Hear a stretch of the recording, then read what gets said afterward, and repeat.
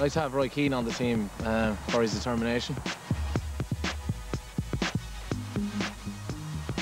Brunette.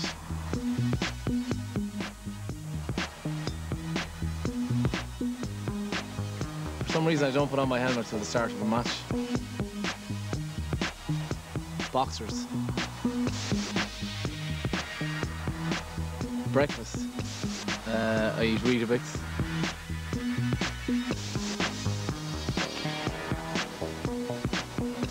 Killers.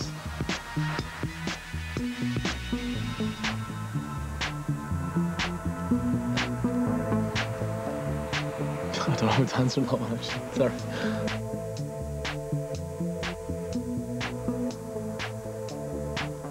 Losing the All Ireland last year uh, to Cork.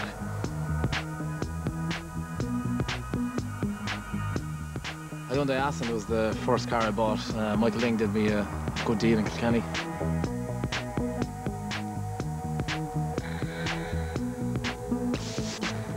Burial, cremation sounds a bit, uh, a bit tough. Maradona because he beat England in 86 on his own.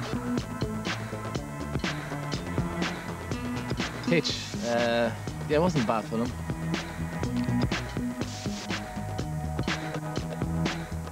I like to swim and uh, read a little bit for relaxation.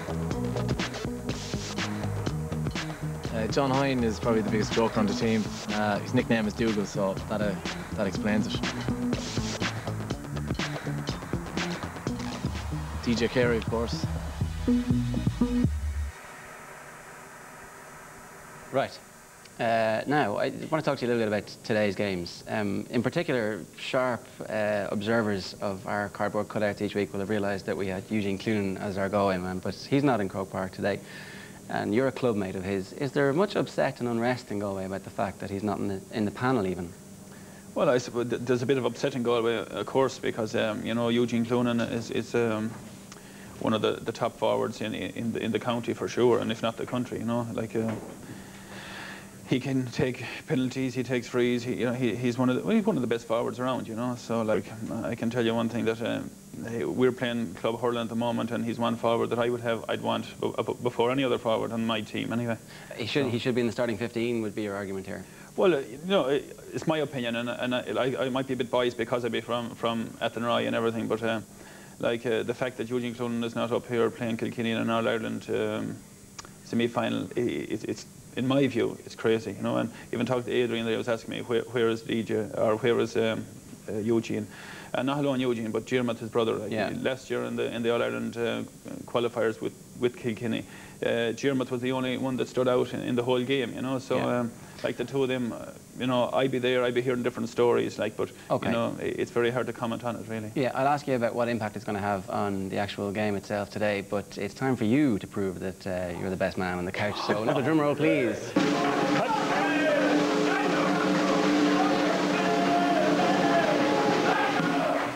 Joe. You're you? very welcome to the Parklife. Skills Thank Challenge. you. I hope you've been in training now the last couple of weeks for this, No, you? myself and Adrian were out here a while ago now, so we just see. Ah, that's good. First Well, time I hit the red, so. oh, well, hopefully you'll be able to repeat that now. Let's see what you're up against. Starting off at the bottom is Mark Landers. Working Yeah. our way up, we have our Galway trio. Now, you're the fourth Galway man to take part in the Skills Challenge, but you're the Yeah. first to go, go solo. They got 15.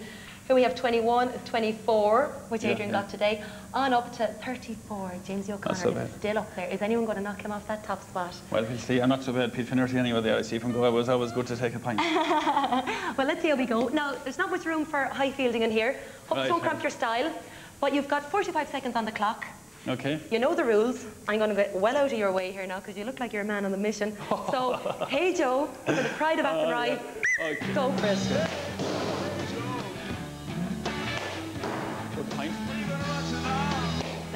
Looking good, but keep it a bit lower.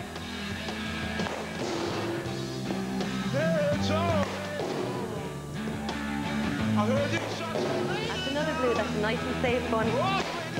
Okay, 25 seconds left, Joe. Okay, you're on 10 points. 20 seconds left. You've got 15 seconds left. Come on, you're on 12. Get another one of those reds, Joe. Come on, you did it earlier.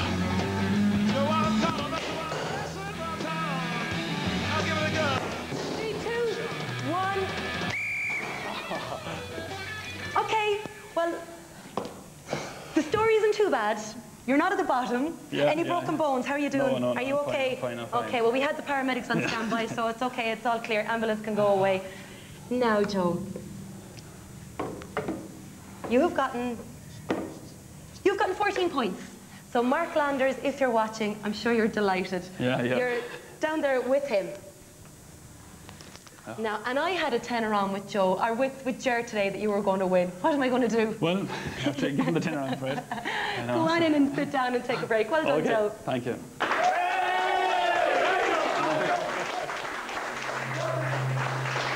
Oh my God.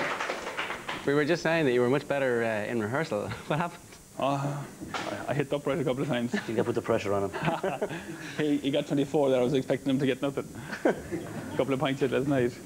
All right, I, I've got to ask you about today's game. There's been a certain nervousness about, well, maybe not nervousness, but difference in how Kilkenny have prepared for this game. Keeping the fans out from Nowlan Park, bringing the players up to, uh, to Dublin. Is it just more professionalism or is it nervousness?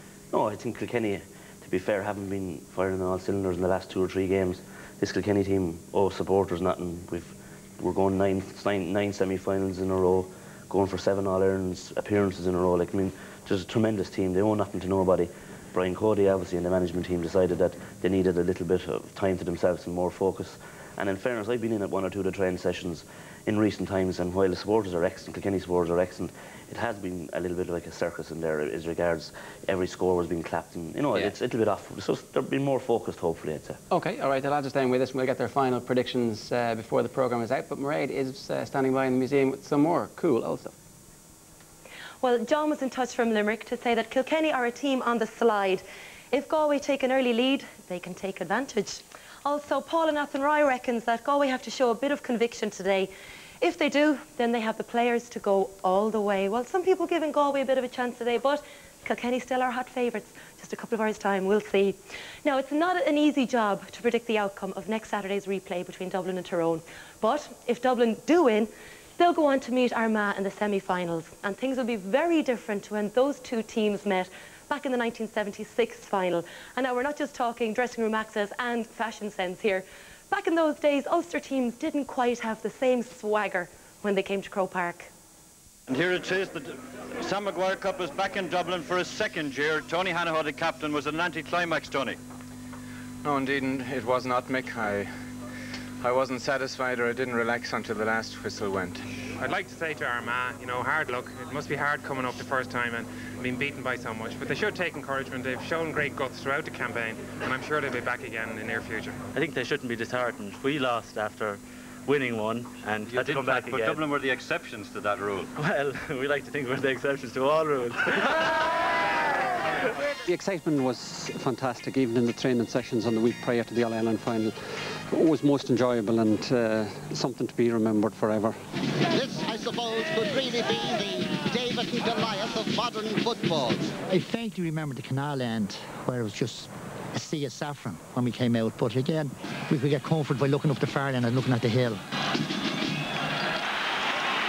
Tom McCreesh to take the free for Armagh. We got uh, a free kick and uh, I kicked it straight out the centre of the field. Bad kick, unfortunately, and uh, it went straight to Brian Mullins.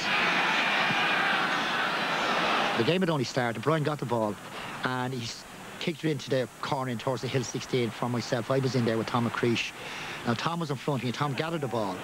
But I'd say because it was a greasy ball, he dropped it. I slipped and let it fall, and it's history since then. So I picked the ball up and I looked over at the goal and I, I was at a very acute angle so I decided to go for point. But luckily for me, uh, Brian McAlinden had come off his line. Uh, I underkicked the ball, went over Brian's head into the corner of the net and it was a goal. Oh, what a goal! What a goal by Jimmy Keaveney! I never discussed it with Jimmy, while Jimmy is a very good friend of mine and I know him extremely well and know him going back to the early 60s. You know what I mean? It wasn't a, a sort of a daunting task to me to